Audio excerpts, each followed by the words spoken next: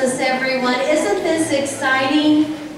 It certainly is. I tell you, your sweethearts back there are just, I think they're too excited, maybe about today, but I bet you what's going to be happening about five days from now. So how exciting. Thank you so much being here. Your sweethearts have worked so hard and they're all excited to show you what they have going.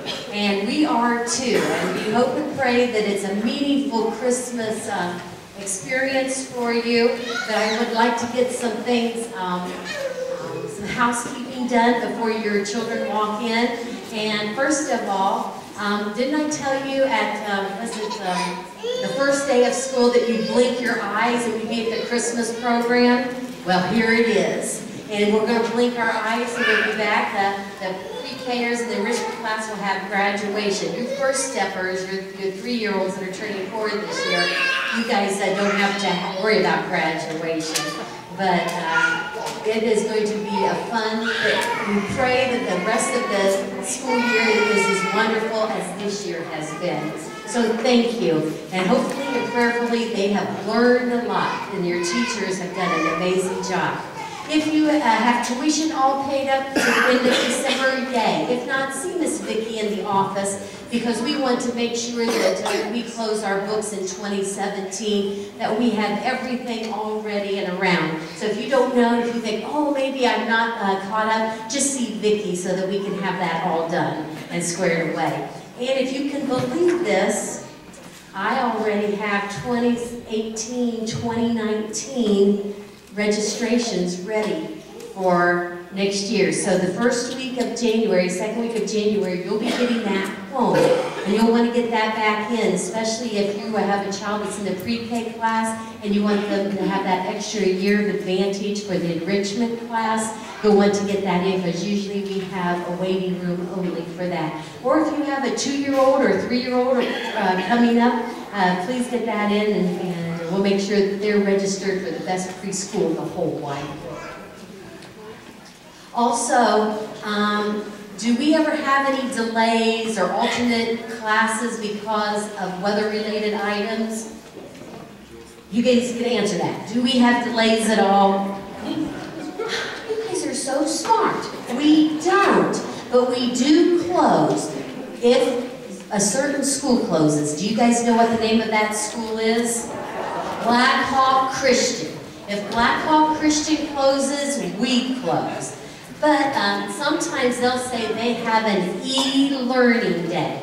We don't have e-learning days. We've already have built in our snow days uh, that we've already come to school, like the first week of September and Veterans Day and Martin Luther King Day and President's Day. We go to school whether there's snow or whether we've had snow or not.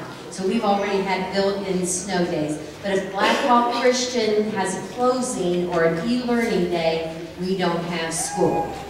But we have some programming that we have no matter the weather. There's eight inches of snow out there. You're thinking, Miss Sarah, this is ridiculous. Yeah, it is ridiculous, but we're still having these programs. And that is Dad's Night Out. That is for the pre-K class in enrichment. That's the end of February. So we will have that no matter what. We'll have parent-teacher conferences March 8th and 9th. We will have Mother's Tea in April, and we'll have graduation in May. Prayerfully, there won't be eight inches of snow in May. But if there is, we're still going to graduate your sweethearts. So uh, the only reason why we wouldn't have these four programs is if police officers or you come across the news saying you will be ticketed if you're out on the road. That doesn't happen very often, but every once in a while we have that. So just please remember, because I think I've told you that I've shoveled snow out there for Dad's Night Out many times, and we still have it. And just a gentle reminder, just make sure that you're in carpool line at 3 o'clock. That's perfect for some reason. Sometimes I do make appointments, and so I don't want you to be late to any of yours, and I know you don't want to make me any later to mine. So that is perfect. And if you're five minutes early, you're on time. Is that your rule at home too? Five minutes early, you're on time? That's my rule. Are you guys five minutes late, you're on time? And that's some people's rules. But uh, listen, but there are sweethearts are ready to come in, so get your cameras out. I think you're going to be amazed, and you're going to get the best Christmas ever with these wonderful children.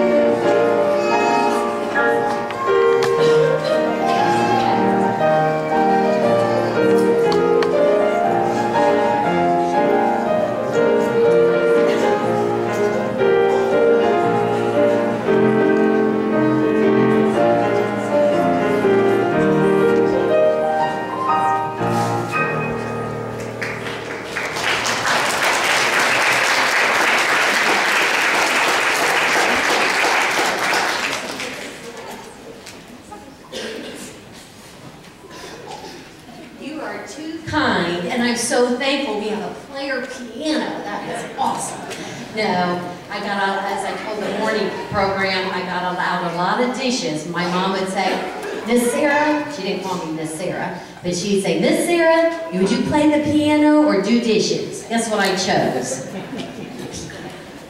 That's a good choice. Whoa! Look at you guys! You're beauteous! You're handsomest! How long did it take you guys to get ready? How many, how many of you guys took an hour to get ready today? Okay. How many of you guys took two hours to get ready? Okay, there are a couple boys. Three hours? Wow. It, you guys did a nice job. You look great. And boys and girls, let's give mom and dads and grandmas and grandpas a big thank you for them coming to our special program. Let's give that a big Thank you, moms and dads, grandmas and grandpas and brothers and sisters. Thank you, thank you, thank you, and aunts and uncles and family and friends. Is this exciting? Is everybody ready to go up here and sing to our wonderful people? Yeah, but before we do, I think we have some thank yous to say, okay? Because it wouldn't be possible without all the hard work of all your wonderful teachers that are sitting with you, okay? And we want to thank them because they have worked hard, not only learning our ABCs, but learning our please and thank yous and learning how to take care of friends and share with friends, okay? So Mrs. Carvey, would you stand up, please? Our enrichment teacher, our pre-K teachers, Mrs. Shirey, her assistant, Mrs. Crystal, another pre-K teacher, Mrs. Bierman, her assistant, Mrs. Johnson, and our first step teachers, Mrs. Martin, her assistant, Mrs. Bowe. Please stand up. Look at this, a standing ovation by our children. Give them a hand. Woo!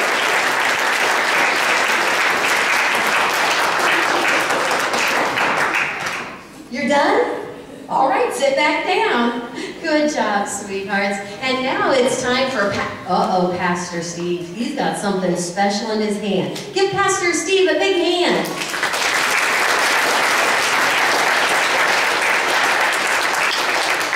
Hi there, how you doing? You hear me now? There we go. What you do? You look wonderful. You all in red and black and green. Is there something special going on? No? Just any regular, normal time of the year, huh? Yeah? No, it is a special time of the year, isn't it? Now, other than the fact I'm getting old and this helps me not fall over, what do you think this is? Okay, cane. Huh? A staff. Who uses a staff? Shepherds. Now, why would I have a shepherd's staff? You have any ideas? Well, let's talk about it. Who, who whose birthday are we celebrating?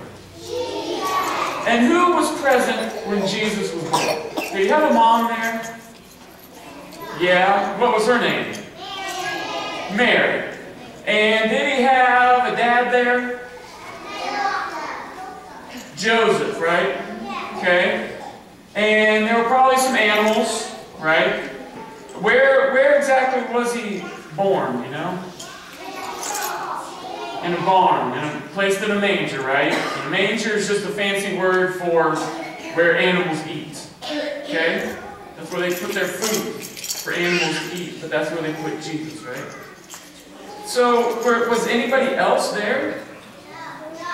No. And where was the barn? You know? You know what city it was in? Was it here in town? No, it wasn't here in town, was it? It was in Bethlehem, right? Very good. Now, the thing was, when Jesus was born, Bethlehem was a very, very busy place. There were people all over the place. There were so many people in Bethlehem that they sold out of all the hotel rooms. Holiday Inn, booked. You couldn't stay at a Holiday Inn Express and be smarter the next day. It wasn't going to happen. Okay? There was no place to stay. That's why Mary and Joseph and Jesus were barn. Now, you would think, with all those people, right? With all those families, all those other moms and dads, that somebody would have noticed that Jesus had been born. Right? You would think that, wouldn't you? But guess what? Nobody else in all Bethlehem, nobody else in that city on that night recognized or saw Jesus. They all missed him. Do you know, other than Mary and Joseph, who kind of had to be there, right? The only other people to see Jesus, who do you think there were? The shepherds. The shepherds were the only other people to see Jesus that night. They were out in their field, minding their own business, watching their sheep, and an angel appeared in the sky. And it scared them. And I'm going to tell you a secret. If I had been there, it would have scared me too. And I probably would have had to change my toga. That's how scared I would have been. And that's how scared they were. Well, I don't know if they were that scared, but they were scared. Okay?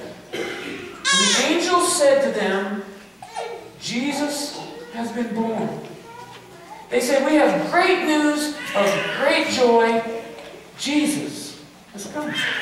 They said, Right over there in that city is where he's at.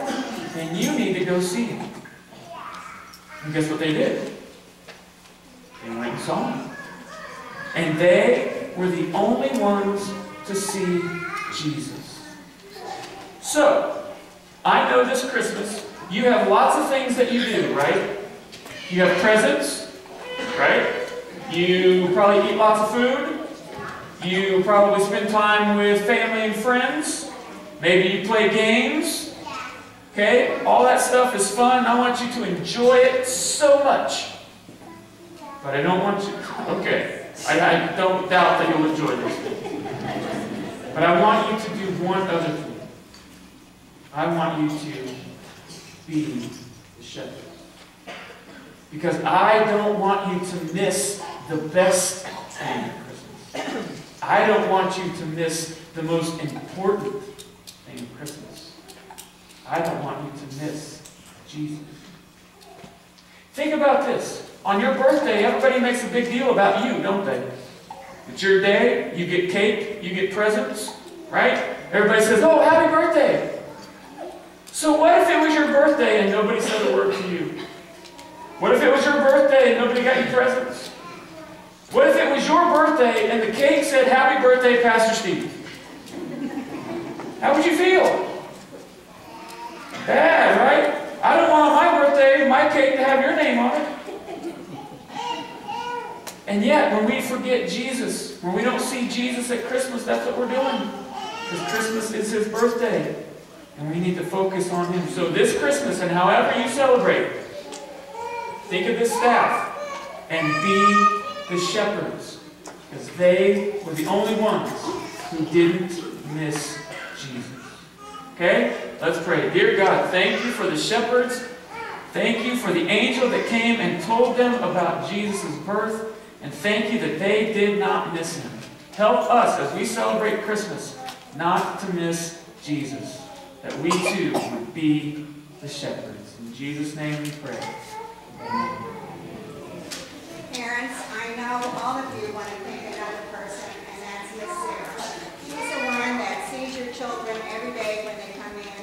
She opens the door and welcomes them and gives them lots of love and care. Let's give her a round.